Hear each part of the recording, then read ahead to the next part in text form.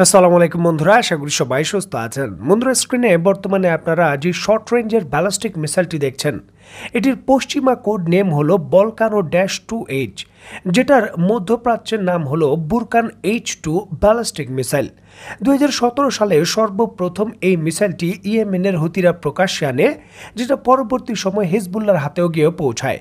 Iran, ইয়েমেনের হুতি এবং Hezbollah তিনজনের কাছে এই বুরকান ব্যালিস্টিক মিসাইলের তিনটি ভেরিয়েন্ট রয়েছে। ছয়শো কিলোমিটার থেকে শুরু করে সর্বোচ্চ রেঞ্জ হয়ে থাকে সতেরোশো কিলোমিটার। তবে বিভিন্ন রেঞ্জের হলেও একটা টেকনোলজি এই জায়গায় ঠিক রয়েছে, আর সেটা হলো স্কার্ট টেকনোলজি মূলত যেই সকল ব্যালিস্টিক মিসাইলগুলো এই ধরনের লোহার ফ্রেমের মাধ্যমে সরাসরি দাঁড় করানো হয় এগুলোকে স্কার্ট টেকনোলজি বলে। সোভিয়েত ইউনিয়ন সর্বপ্রথম এই ধরনের মিসাইল আবিষ্কার করেছিল। যে দ্বিতীয় বিশ্বযুদ্ধের পর কোল্ড ওয়ারের সময়ে সাবেক Soviet Union R dash one one, R dash one seven, যেগুলো পরবর্তী সময় আর থ্রি হান্ড্রেড নামে পরিচিত, এই ধরনের বিভিন্ন ব্যালিস্টিক মিসাইল আবিষ্কার করেছিল এবং তাদের ভরে যুক্ত করেছিল। সাবেক সোভিয়েত ইউনিয়নের সেই আর সেভেন্টিন যে ব্যালিস্টিক মিসাইল ছিল, তার হুবহু কপি হলো এই বুরকান ব্যালিস্টিক মিসাইল। যেটার সক্ষমতাও কিন্তু কম নয়। হিসাব বলছে এই ব্যালিস্টিক মিসাইলগুলো সর্বোচ্চ, প্রায় পাঁচশো কেজি ওজনের বিস্ফোরক কিংবা পরমাণু বোমা বহন করতে পারে।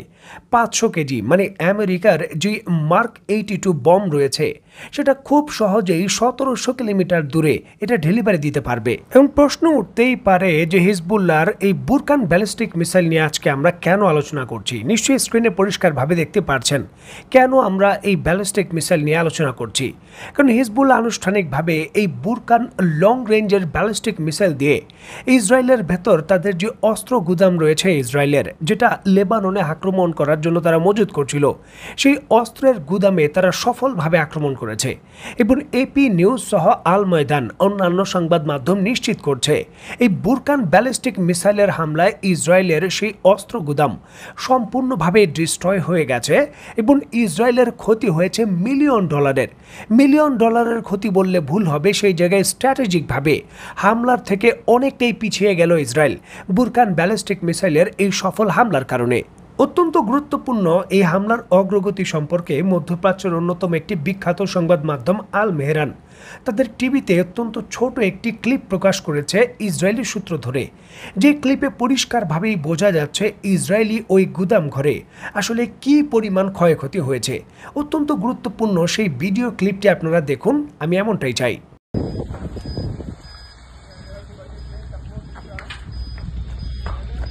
אל תהיו אבל בעשן, אה, מוניר. הכי טוב לא להיות בעשן, יש פה אסבסט, יש פה טרק. שקט. תקיימו, זוז. নিশ্চয় আপনারা পরিষ্কারভাবে দেখতে পারছেন যে ইসরায়েলের সামরিক যে গুদাম ঘর ছিল সেই সম্পূর্ণ এলাকাটিকে একেবারে মাটির সঙ্গে মিশিয়ে দিয়েছে হিজবুল্লাহ নতুন বুরকান ব্যালিস্টিক মিসাইল ব্যবহার করে। যে মিসাইলগুলো যে এতটা শক্তিশালী আক্রমণ করবে এবং ইসরায়েলের পুরো এই এলাকাটিকে এইভাবে তছনছ করে দেবে, ইসরায়েল কখনোই কিন্তু ভাবতে পারেনি।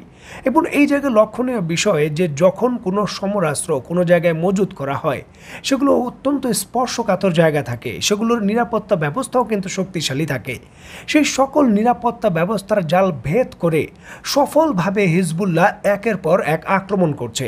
আর এর জন্যই কিন্তু উত্তর সীমান্তে অত্যন্ত দুর্বল হয়ে যাচ্ছে ইসরায়েল। দেখুন, গত কয়েক দিনের ভেতর সুনির্দিষ্ট শক্তিশালী মিসাইল দিয়ে হিজবুল্লাহ যেইভাবে উত্তর সীমান্তে ইসরায়েলের স্পর্শকাতর যে সকল মিলিটারি বেজ রয়েছে সেখানে আক্রমণ করছে এবং সফলতা পেয়েছে। পরিষ্কারভাবেই কিন্তু ইসরায়েলের বোধগম্য হয়ে গেছে যে একা যদি হিজবুল্লার বিরুদ্ধে সে লড়াই করতে যায়, তাহলে তার পরিণতি কি হতে পারে? যার জন্যই কিন্তু জরুরি ভিত্তিতে পঁচিশটি পঞ্চম প্রজন্মের জেট ফাইটার, যেগুলো বলা হচ্ছে ইসরায়েলকে ডেলিভারি দেওয়া হয়েছে বাস্তবে। সেই বিমানগুলো আমেরিকা নিজেই পরিচালনা করবে এবং আমেরিকান সোলজাররা হিজবুল্লার বিরুদ্ধে যুদ্ধ করার জন্য ইসরায়েলের উত্তর সীমান্তে মোতায়েন হচ্ছে। এবং বেশ কিছু সময় ধরেই গাজা উপত্যকার ভেতর নতুন করে হামাস ইসরায়েলি সামরিক বাহিনীর বিরুদ্ধে বড় কোনো হামলা করেছে বা সফলতা পেয়েছে বা ইসরায়েল কোনো ক্ষতির সম্মুখীন হচ্ছে, এই ধরনের খবর পাওয়া যাচ্ছিল না। যেটা অবশ্যই স্বস্তিদায়ক নয়।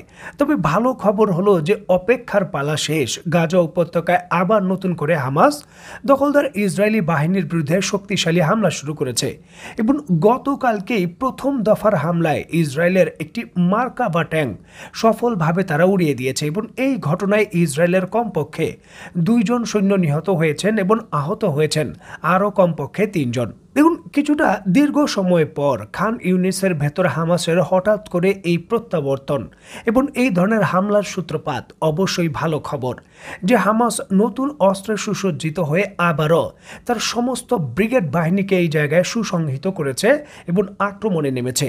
ধারাবাহিকভাবে আগামী কয়েকদিনের ভেতরই গাজা উপত্যকায় আরও শক্তিশালী হামলার খবর আমরা পাবো এবং দখলদার বাহিনী আরও ক্ষয়ক্ষতির সম্মুখীন হবে, এটাও সুনিশ্চিত।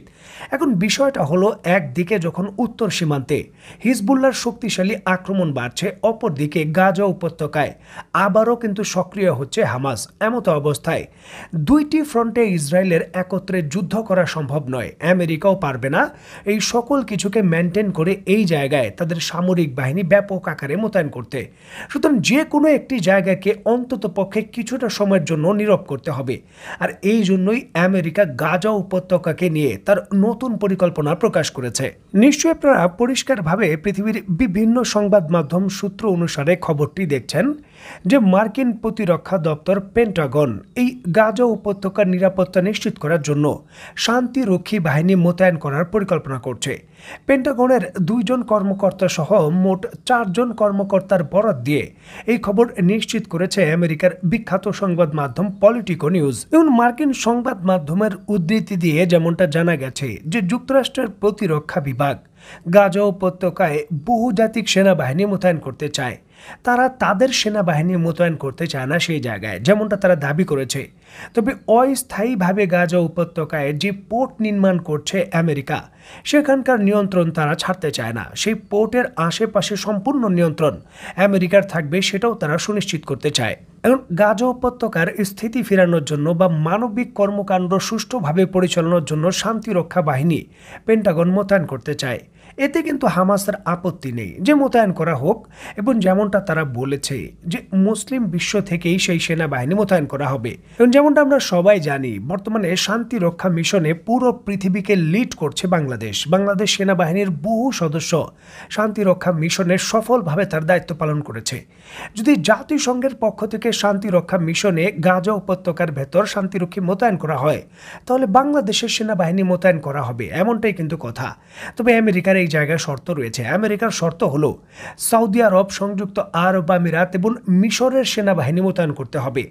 অন্য কোনো সেনাবাহিনী মোতায়েন করা যাবে না। এখন অত্যন্ত গুরুত্বপূর্ণ এই বিষয়টিকে কেন্দ্র করে ইসরায়েলি সংবাদ মাধ্যম দ্য জেরুজালেম পোস্ট এবং দ্য টাইমস অফ ইসরায়েল তাদের খবরে নিশ্চিত করছে যে হামাসের কিন্তু এতে তীব্র আপত্তি রয়েছে। হামাসের কথা হলো যে, যদি শান্তি রক্ষা বাহিনী মোতায়েন করতেই হয়, তাহলে পূর্ব এশিয়ার মুসলিম দেশ থেকে মোতায়েন করা হোক। বাংলাদেশ থেকে করা হোক, ইন্দোনেশিয়া থেকে করা হোক, মালয়েশিয়া থেকে করা হোক, তাদের কোনো আপত্তি নেই। তবে পাকিস্তানের ক্ষেত্রেও তাদের আপত্তি রয়েছে। যেহেতু পাকিস্তানের সমরাস্ত্র ব্যবহার করেই ইসরায়েলি সামরিক বাহিনী এখন আক্রমণ চালাচ্ছে গাজা উপত্যকায়। সুতরাং পরিষ্কারভাবে হামাসের পক্ষ থেকে বলা হয়েছে, বাংলাদেশ, মালয়েশিয়া, ইন্দোনেশিয়া, এই সকল দেশ থেকে যদি শান্তি রক্ষা বাহিনীর মিশনের সদস্য মোতায়েন করা হয়, তাহলে তাদের আপত্তি নেই। তবে যদি সংযুক্ত আরব আমিরাত, সৌদি আরব এবং মিশর থেকে শান্তি রক্ষা বাহিনী মোতায়েন করা হয়, তাদের বিরুদ্ধে হামাস যুদ্ধ করবে। কারণ ওই সকল কথিত শান্তি রক্ষা বাহিনী তাদের সহযোগিতায় নয়, বরঞ্চ ইসরায়েলের সহযোগিতায় মোতায়েন হচ্ছে। তো বন্ধুরা, অত্যন্ত গুরুত্বপূর্ণ এই সকল বিষয়কে কেন্দ্র করে ধারাবাহিকভাবে রিপোর্ট আসবে এবং আপনাদের আমি জানাতে চেষ্টা করব। সেই পর্যন্ত সবাই ভালো থাকবেন, সুস্থ থাকবেন এবং বাংলাদেশকে ভালোবাসবেন। আল্লাহ হাফেজ।